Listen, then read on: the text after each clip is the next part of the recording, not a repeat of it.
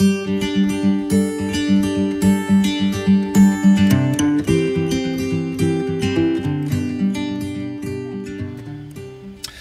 everybody, and welcome to another vlog from Agricology. My name is Richard Smith, and I'm the farm manager at Daylesford Organic Farm.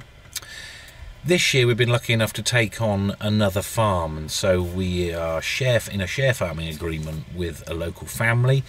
And here we are, having taken on this 450 acres of farm. It's been being it's been farmed conventionally for many years previous farmer's taken his crop off. We've come in with a cultivator, so a leg, a set of uh, discs, and then a press at the back. We've been over a couple of times and created a seed bed, so a kind of mintill system.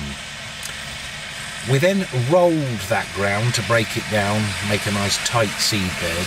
And you can see here today that we're putting the seed on. So this is red clover and ryegrass.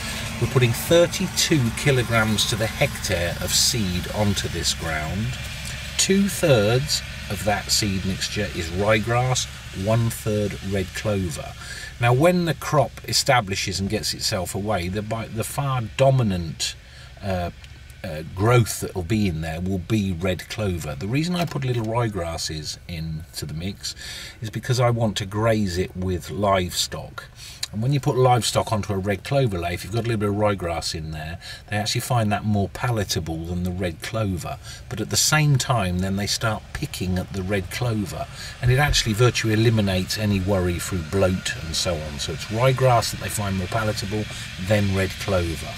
We're putting it on with an einbock, so we're just sprinkling the seed in, scratching it with a harrow, and then we'll roll it in really tightly. And by mid-October, this will be a fantastic looking crop and I promise to come back and show you um, the results of how it's got away.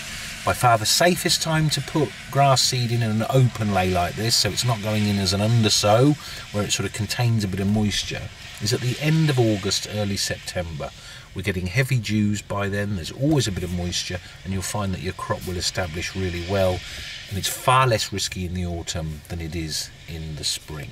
I hope you found that useful. Thanks very much. Bye bye.